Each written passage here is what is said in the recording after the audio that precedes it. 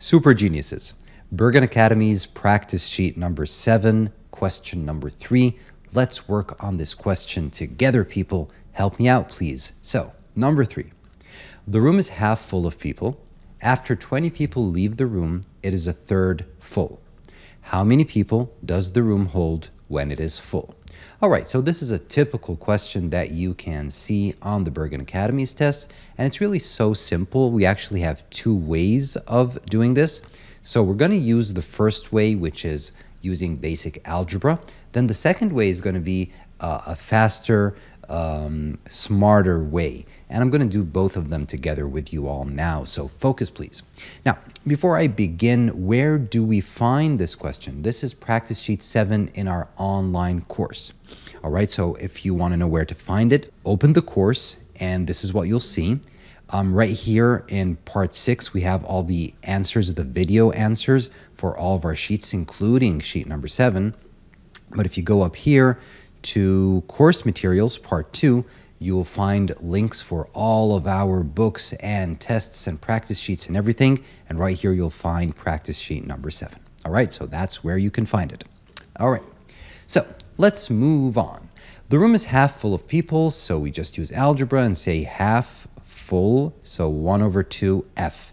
F is how many people there are when it's full.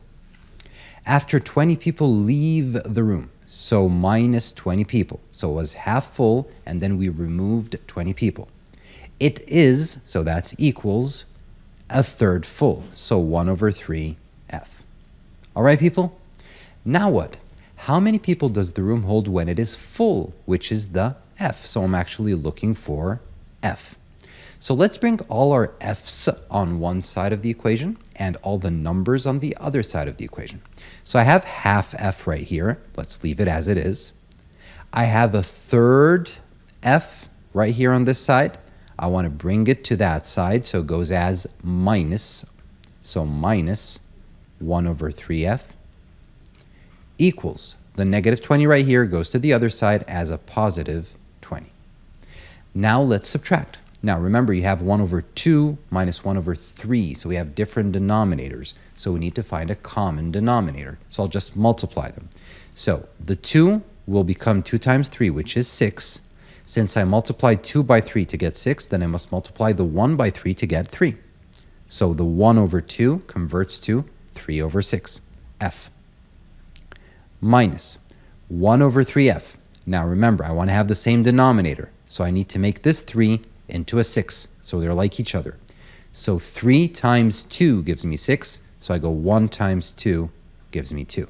So 2 over 6 f equals 20. Now subtract. 3 over 6 minus 2 over 6 is 1 sixth. 1 over 6. 1 over 6 f equals positive 20. How do we find f? We multiply 20 by 6, right? Because it's 1 over 6 so the 6 goes to the other side as multiplied.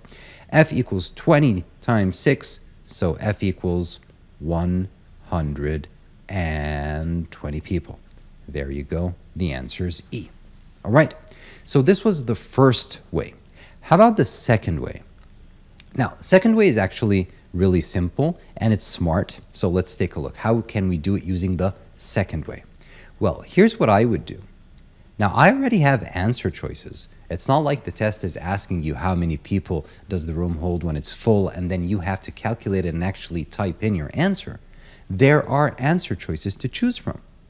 So use those answer choices. And if you have no idea which answer choice to start trying with, always start with the one in the middle. So this is what we call use the answers hack, UTA hack, okay? So I'll assume C, F full equals 80 people. All right, now let's take a look. The room is half full, so half of 80 means 40. So there were 40 people in the room. After 20 people leave, so 20 people leave, I'm left with 20 people in the room. The room is now a third full. So is 20 a third of 80? No, 20 is a third of 60, right? It's not a third of 80. So I know that C is wrong, but here's where the magic of the UTA hack comes. Now, I know that 20 is not a third of 80, but I actually know that it's less than the third of 80 because 20 is a third of 60, which is smaller than 80. So the right answer has to be greater than 80. So I know that B and A are also wrong because I need my number that I begin with to be more than 80. So I'm only left with D or E. Okay, let's test D. So I have 90 students, 90 people, all right? The room is half full, all right, so half full. What's half of 90? Full equals 90, okay? But it's half full, so it's 45. 20 people leave. So how many do we have in the room now? We have 25. Is 25 people a third of 90? No. 30 is a third of 90, not 25. So we need something that's even bigger than D. So we're only left with E. And now you don't have to check it anymore because you're sure A, B, C, and D are wrong. The answer has to be E.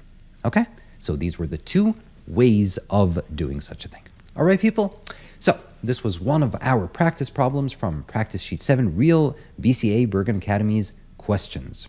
We have a whole course, people, math and essay writing for the Bergen Academies admissions test. If you're interested, please click on the description. You'll find a link to our course, Math essay, or both. If you're interested, click on that link and join our course. I'd love to have you with us.